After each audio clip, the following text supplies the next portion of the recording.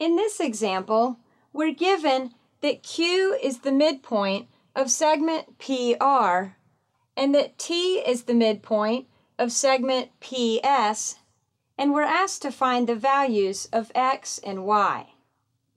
To find the value of X, if Q is the midpoint of segment PR, then we know that the length of segment PQ equals the length of segment QR or 5x plus 2 equals 12. Subtracting 2 from both sides gives us 5x equals 10, and dividing both sides by 5, we find that x equals 2.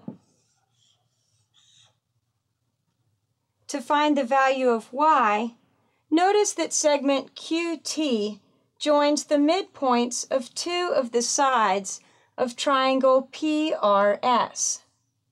And remember that if a segment joins the midpoints of two sides of a triangle, then it measures half the length of the third side.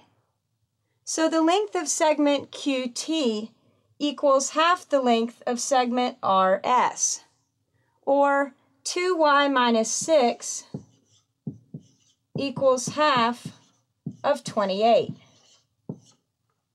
Simplifying on the right side, half of 28 is 14, so we have 2y minus 6 equals 14. And adding 6 to both sides,